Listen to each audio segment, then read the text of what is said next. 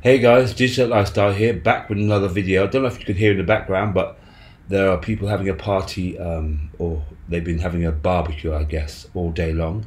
And um, there's quite a lot of noisy children, great. Uh, let them have their fun. One likes them to have fun outside in the out, out outside to have fun. Basically, one should have fun. Well, everybody should be having fun outside and getting vitamin D in their body, having a natural, healthy lifestyle, and enjoying barbecues, enjoying um, cooking outdoors, enjoying the outdoor life. And it's great to hear that. It's great to to to see uh, um, or feel that presence of of children doing that. However, there's one that is annoying, but there's always one, isn't there? Always one.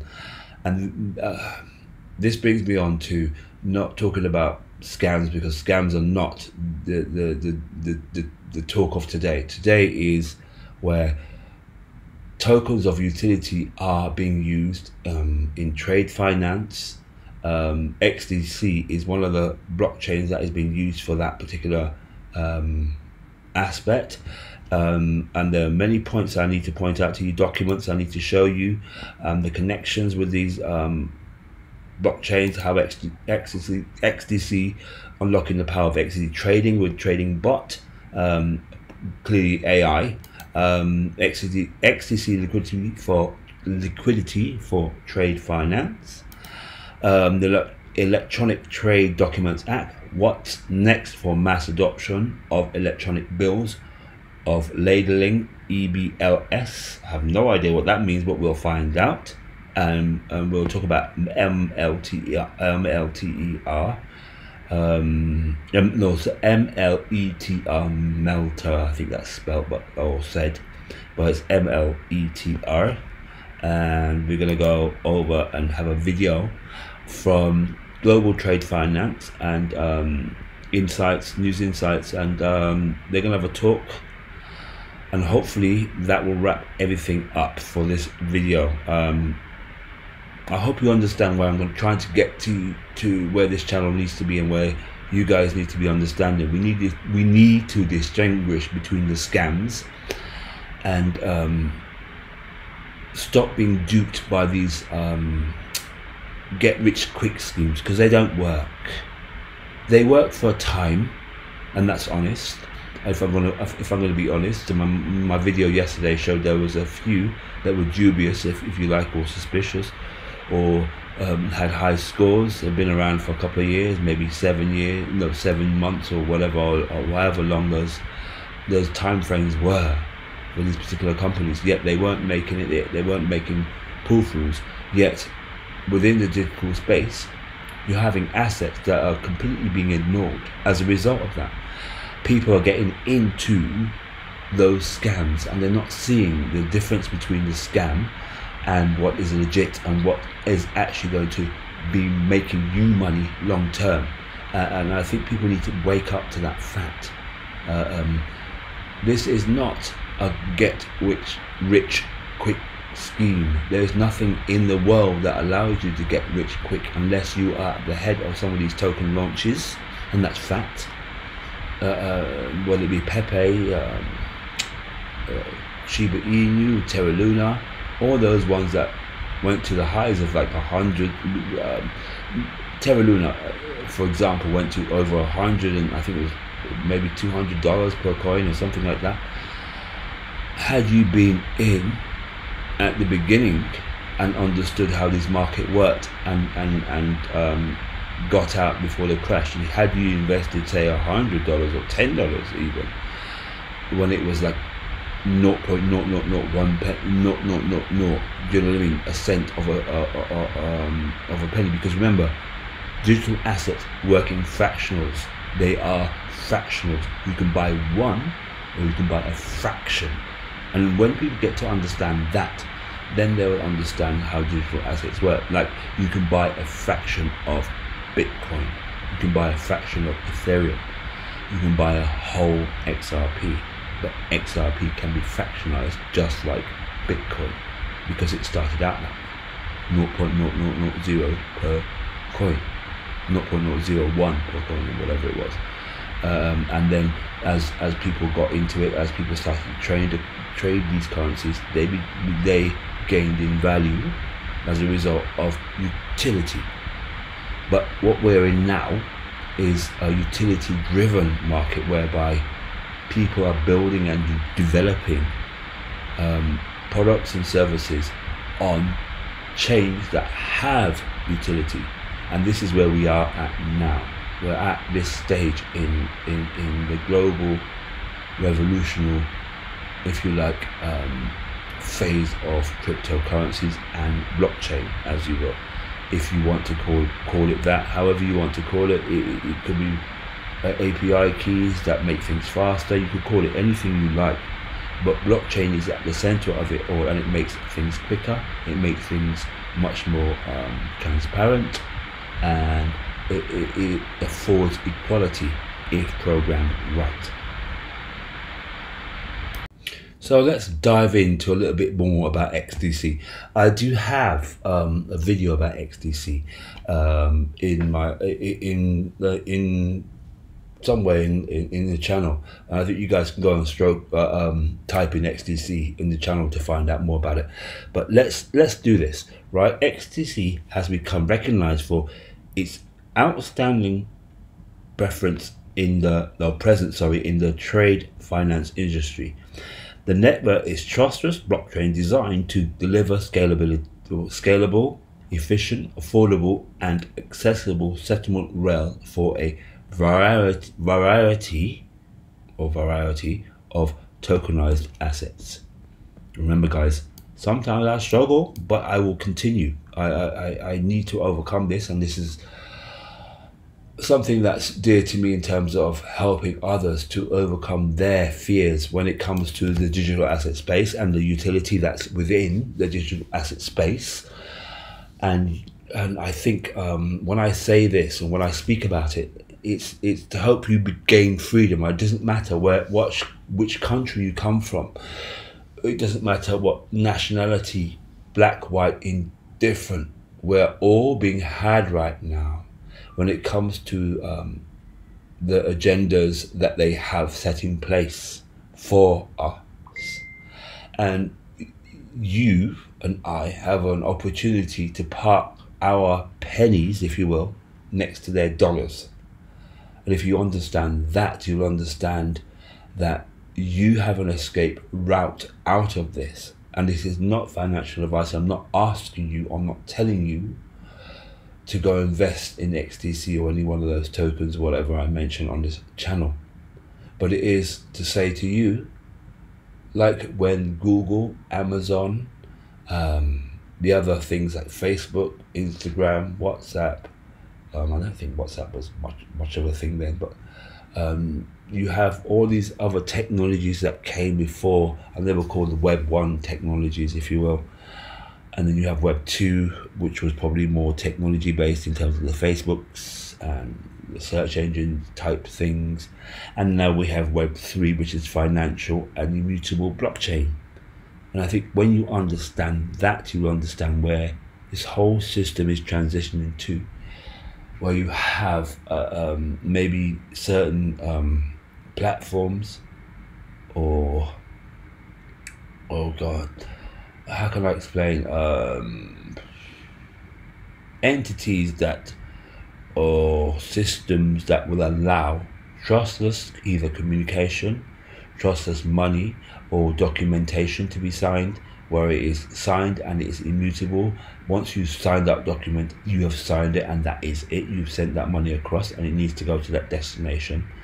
It's um, cheaper than the traditional system because remember the system we have right now is extremely antiquated it has a many many holes in it paperwork uh, you know for trade documentation it is astounding um, it, it, takes a long time to, to, to have trade uh, um, be actioned uh, or trade to be um, done because of all the paperwork that certain countries have to have you sign, and it's ridiculous amounts of paperwork. And clearly, if you look at the planet and, and want to save the planet, paper is made out of trees. So hey, go and think on that. So we need to come to a, a place where it, um, blockchain is utilized much more fairer, greener, cheaper, if you will. Certain aspects of the blockchain um, which can be programmed into I don't like, but that's another story for now. But what I'm trying to say to you today is XDC is um, understanding trade finance use cases. Put simply, um, trade finance trade finance is the financing required to fuel movement of goods and services around the world. A number of obstacles, including borders, insufficiencies in settlement, and different regulatory policies, as I was trying to say earlier on. Every jurisdiction has a different policy. You know, like take for Australia, they won't let they won't let certain um, things into their country. Like, um, say you, you you came from um, it doesn't matter where you came from, but just say, for instance, you had a banana um, uh, and it came from a different country. They're not going to allow you to bring that banana into the country for fear of contamination of their ecosystem. Um, this may be a bit longer video than I intended, but I hope you, you understand where I'm going with this and um, appreciate that I'm trying to deliver content and uh, an understanding into where we're going in terms of the regulatory um, um, infrastructure that is taking place, the, the, the, the ties with government and three-letter organisations that don't don't have um, legal precedent, but then they do in an outward sense and they make decisions for the populace. But that's another story yet again. Um, but we're moving into the digital age, and it starts with trading. It has to start there with some some um, obscure reason. But it makes sense if you're not trading anything, if you're not bartering, if you're not doing anything with what you've got. It, it, it stands to reason that it will stand there and rot. So what is the point of having it sit there? You might as well trade. So trade uh, finance made simple using XDC will be the way going forward. And I'm, I, will I, will, talk about the documents. I will, or in fact, I'll go through some of the documents. But this may be a longer video than I expected. Okay. Hope you enjoy. Take care. Not for now. I'm not moving on. I'm, I'm, I'm not moving out. I am still continuing with with this with this um, topic. Um, but when I say take care, I mean take care in looking at this whole system to, uh, uh, and, and, the changes that are taking place, looking at um, digital assets with utility, looking at um, the changes that we will face. Um, some of it may be hard. I don't know. I don't know the future. I haven't got a crystal ball, honestly. But I do know we may hit some hard points until they um, put the change in place. So, moving on to the next um, document that I found. Um, let me go get it. Hold on.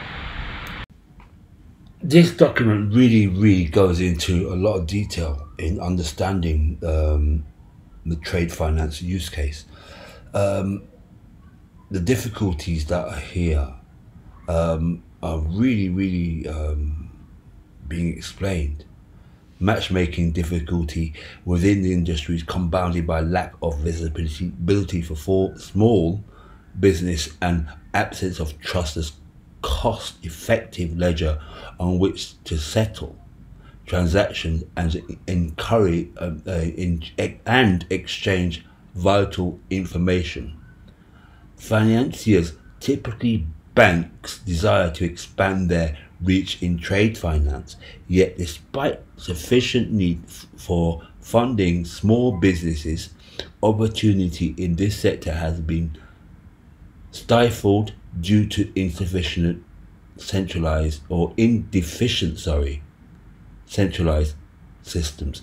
Which means, you know, a lot of these systems are controlled and governed and, and, and they set the rules. And you have to follow those damn rules whether you like it or not.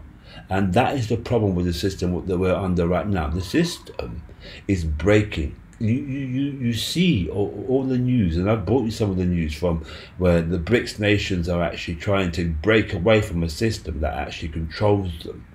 Where we see um, um, India, Russia, China, and all those other countries saying, you know what, we're done with your sanctions because you keep bullying us. And that is the problem with the system that we have now. It's centralized and it controls and it bullies. And it bullies to the point that it has bullied far too many countries and they are saying no, they are pushing back. If you look back to Africa and the um, the the the stuff that is happening over there, where they're saying to the, current colonialist uh, colonialist government, no, we've had enough. We are giving you our resources practically for free. Yet you're giving us something for it, but our economies are suffering. Why should we do that? And this is what you need to understand when it comes down to trade finance and how the blockchain will make things equitable, fair, and a lot more cheaper for all countries apart from those countries that have wealth. They will be paying the most. That includes countries like Af- uh, um, like America, and Europe. I'm sorry, but we have the wealth here to pay for those resources to help those countries. And if you don't like it, that is your problem. You are part of the problem if you don't like what's happening right now. If you don't understand that there's a massive shift where equality needs to take place in order to have a fair and uh, and fair system, then I'm sorry, you don't need to be in blockchain. You need to be back in the old system and clinging on to that old crap that did not allow um, other countries to develop at the same rate as our country has or, or, or your nation has. As a result, many of those people are living in poverty. 90% of those countries are in poverty. We cannot and will not, and I personally will not accept that because it's wrong. Anyway, I said this is going to be a long one. It may be a bit of a rant, but it's going to be a long one. Moving on to BSCA, a global community mobilizing supply chain with blockchain. Uh, this is their website clearly. Um, this is no um, like run the mill stuff, and they uh, have services, advocacy, collaboration, education. By bringing together like minded professional, our our member driven association global um, accelerate adoption in distributed ledger technology in supply chain through standards and dialogue to help shape policy with governmental agencies to improve services and help our community voice our community's voice sorry be heard. Um, i'm not going to go too much into this document. Um, I will put links into the description or all this because I think this will help people to understand what is going on. Um, shape advocacy initiatives with different levels of government, learn and interact with peers to advocate um, commercially viable results, help build consensus and standards, better visibility to industry projects and trends. A lot of the scams that you hear talk about sort of similar language, but it doesn't really make sense when you look into it and the grammar is completely um, wrong. I am dyslexic and even I can spot some of the grammatical, uh, grammatical what are uh, uh, mistakes. And why blockchain? Blockchain and other distributed ledger technologies are emerging technologies that promise bring to bring efficiencies to supply chain related activities enterprise level and permission, permission blockchains are being used today to bring trust and efficiency to various levels within the supply chain industry, uh, including sorry, uh, including smart contracts to digitally facilitate negligible or negotiable, sorry, negotiable or negotiation. Sorry, sorry, sorry, sorry. See, I told you this kicking. Negotiable or performance or con or contract. Our mission, the mission is to promote the rapid adoption of blockchain and DLT technologies and in anticipation supply chain networks, promote collaboration among supply chains, uh, enterprises, supply, uh, enterprises and IT companies, promote paperless and an electronic emission of the whole supply chain, industry and relevant government agencies. And they have a members page. I'm not going to go into too much of it. Another coming soon. Subscribe if you want to learn more. And they also have a LinkedIn page. Um, there's a lot more on this uh, website if you want to have a look. Um, the services page, ed education, events, and membership for those interested in membership. I'm not expecting anybody to be interested in membership. Why would you? Um, you need to have this information. That's what I'm trying to say to you. Moving on, um, this was posted by Rosling Wing um, on the 8th of September, unlocking the power of XDC trading, trade uh, XDC trading with Trading Bot, a step-by-step guide for market making bot. Now, I'm not interested in bots and all that kind of stuff. Really, I'm not.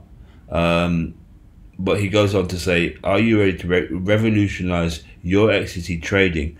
Look no further than Trading Bot X."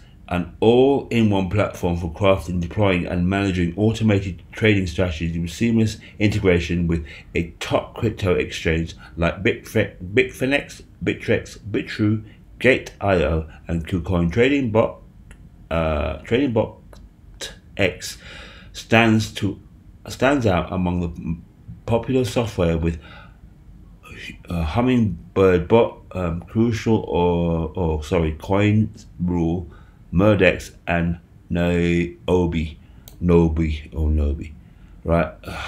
I'm not going to go into too much of that, but this is uh, uh, um, uh, God, XDC devs, um, um, the forum, and it's a community of two, two, 2,113 members.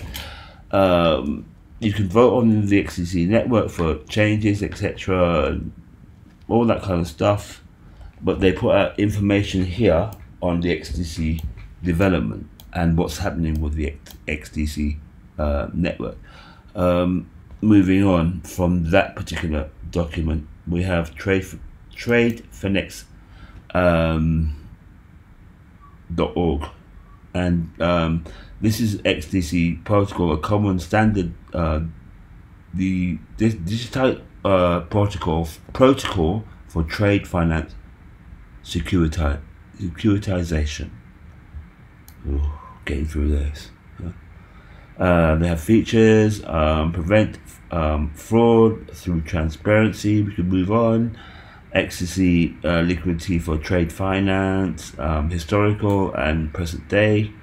Um, I will put links into this description for this because I think it's important for you guys to go do your own research. So if I put the links in, you can go and do your own research and you can also do other research along the research that I've done to get you these documents. That's entirely up to you. So the XDC network um, or the XDC protocol allows you to hold scrutinized trade finance assets or ne negotiable instruments in a fully tokenized digital form in your industry. They can then be transferred between financial institutions or on a peer-to-peer network without any risk.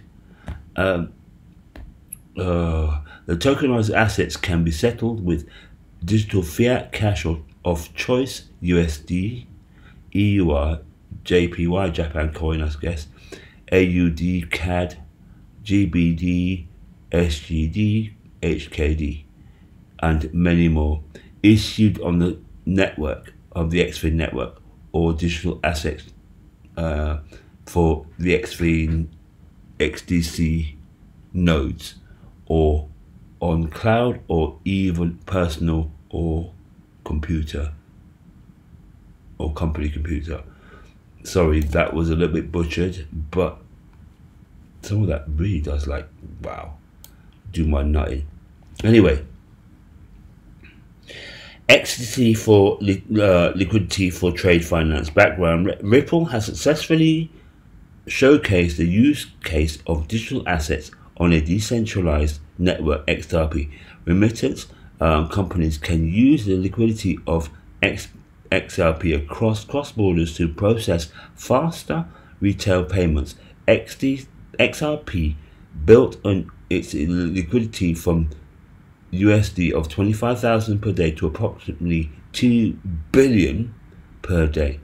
Historical, uh, you can go and look at um, this yourself, but um, I will put, like I said, the, the links into the description for all of this anyway. Moving on. The Electronic Trade Document Acts what um, Act. What next for mass adoption of electronic bills for la- lading e-bills? Uh, I think that says e-bills. I'm not quite sure. The Electronic Trade Document Act. What's next for mass adoption of e-bills? I'm going to call it that. Uh, it may be EBLS. Uh, actually, let's stick with that. On the 21st, uh, 20, on the 20th of July 2023, the government in the the fuse on trade dig- digitalization, digitalization by recognizing electronic bills of lading EBLS, EBLS under UK law. This marks a long journey for the UK from project unofficially called the EC Connect in 1998, and this is how long this damn thing has been in progress since 1998.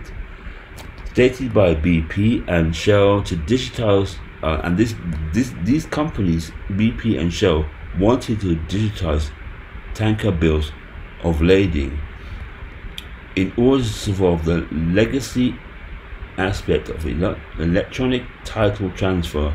The company lobbied Parliament to update UK law to recognise EBLS. As it turns out, it took until last month uh, for that to change with the passing of the Electronic Trade Act document. And I will put a link in the description. You guys can go and have a look for yourself. Seriously, you need to do this because it's important that you understand. Um,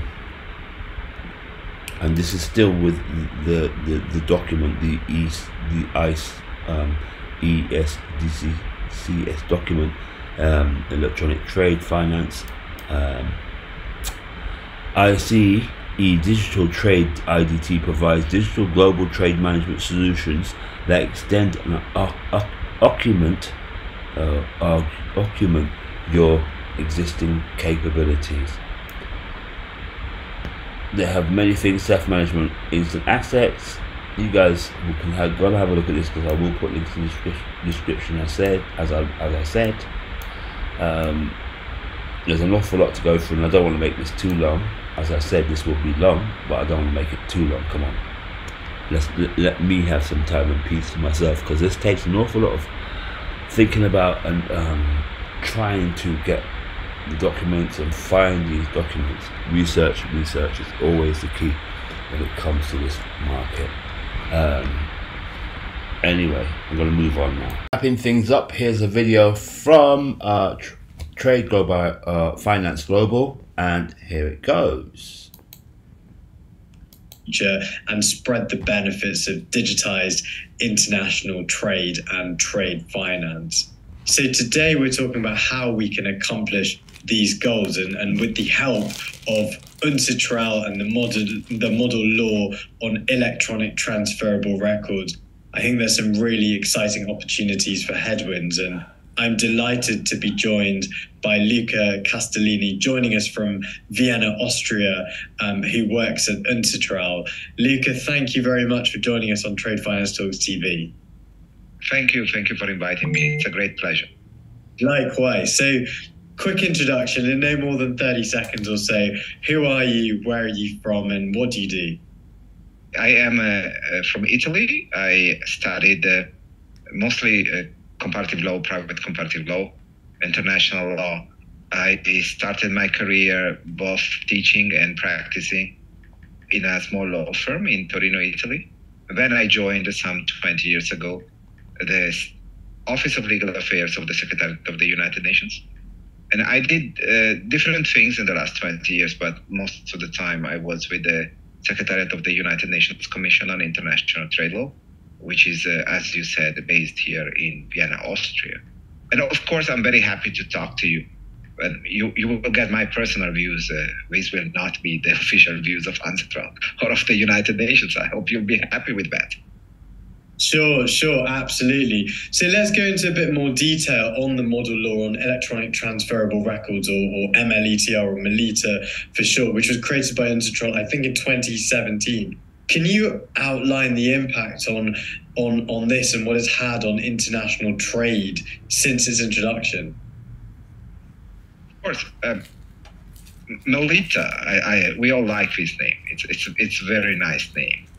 As you said, now she's at six.